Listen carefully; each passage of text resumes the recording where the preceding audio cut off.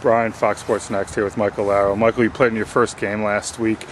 Did it take time to get the rustiness off? Um, I don't know because I've been practicing this whole time, but I, I was I had butterflies, but that's usual.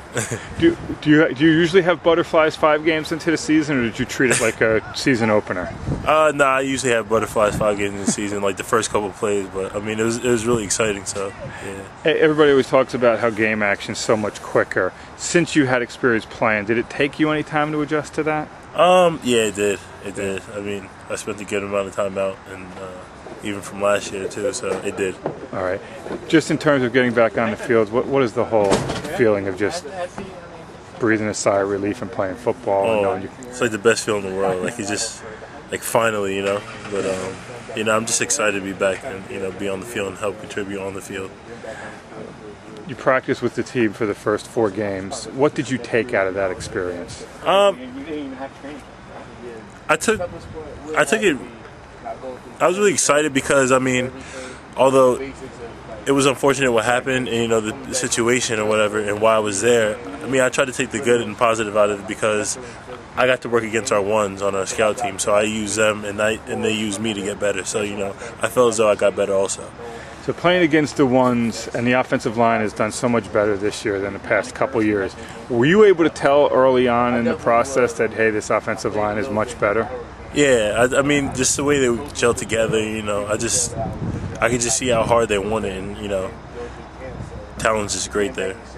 Hey, what what part of your game do you think you improved the most on during the last month? Um, I would have to say maybe just my work ethic. You know, maybe it's just uh, me being excited for you know coming back and stuff like that. But definitely my work work ethic. Work ethic was that on the field? Was it in the film room, weight room? Where where?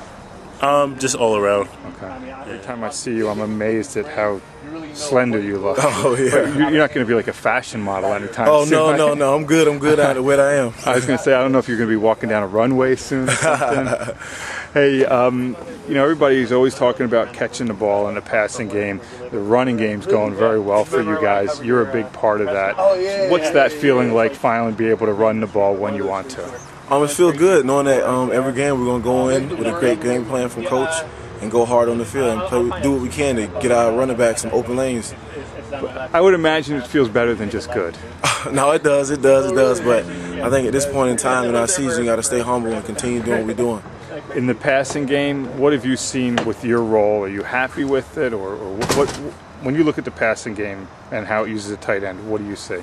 Um, I, I enjoy it. You know, we get the opportunities to catch the ball, and the tight ends are catching the ball. I'm catching it, and we're taking advantage of what we get. With the fullback situation now, Burton's not playing. I guess Bergen will play this week, Coach Flood said. But Carrezola is getting a lot of time, fullback, H-back, whatever you want to call it. He's not lining up at tight end. How does that change things for you? Um, it's, it's pretty much the same game plan for me. You know, Paul has been doing the F for a numerous amount of years. He's just never been in the game at it as much, and he's executed, and I'm executing the position I got to do. So it's, it's pretty the same. It's pretty much the same. You know, watching your last game, it was too tight. Carrezola's in the backfield. The other tight, obviously, is Tyler Kroft. Have you spoken with him much about how to handle all this stuff and being ready? Um, I think Tyler, you know, he's been prepared since the um, season, since the summer and off season. He knows his job. He knows what he's got to do. It's just that the situation happened with Bird, and we was ready to go in as three tight end set. And and with Kroft, do you talk to him much about just blocking philosophy and and because he always said that's the part he needed to get in his game the most, and we know how far you've come in that area. Have you talked to him about some of the fundamental keys of that stuff? Um, all the tight ends, you know, we try to help each other out as much as we can. I, I, wouldn't say it's something that Tyler couldn't do. It's just something he didn't do as much, you know, coming out of high school, and he's getting better and better every day what tight end does block a lot out of high school. Yeah, I know, I know. Well, I didn't block at all out of high school. Neither did he. Yeah. Hey, um, well, you for a different reason, but but anyway, um, when you look at Syracuse, what do you see from their defense on film? Obviously, without giving away game plan and everything. Um, I think they're a pretty physical team. You know, they come to play every game. You know, they got some good linebackers, good end, good secondary. It's just something we just got to focus on what we got to do and execute our assignments.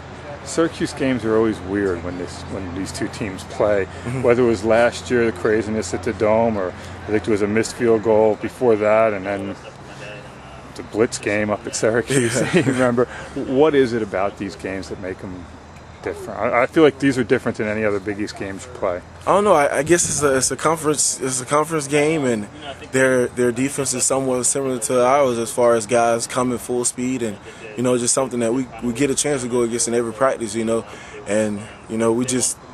I don't know what it is about Syracuse and us when we play them that it end up being a crazy game, but you know this year we're just going to focus on what we got to do and come to play.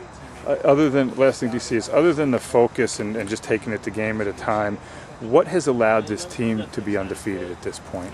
Is there something you really point to and say, man, that that's what we're doing?